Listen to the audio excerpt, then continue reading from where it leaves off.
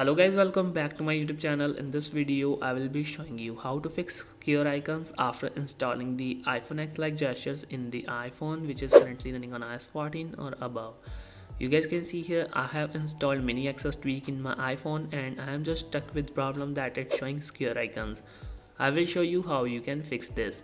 So if you want iphone x like gestures you can check out the previous video. Link is available in the description so in order to fix this we just need to go to the Cydia app here and just let it load. And guys it's a request. If you are new here please make sure you subscribe firstly. And after successfully loading Cydia you guys need to go to the search bar here and now search here snowboard. You guys can see here here is the tweak. It is showing reloading data. So just hold on let it reload. Now click on just search for snowboard.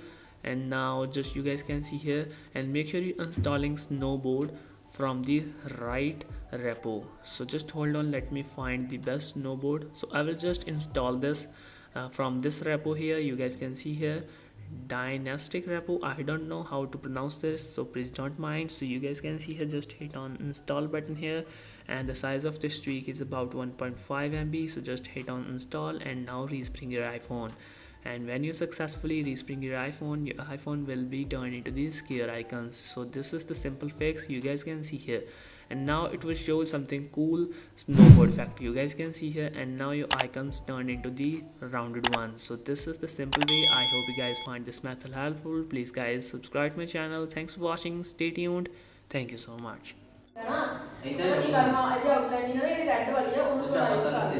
ਚੌੜਾਈ ਕਰਦੀ ਨਾ ਜਿੱਦਾਂ ਇੱਥੇ ਵੀ ਜਗ੍ਹਾ ਖਾਲੀ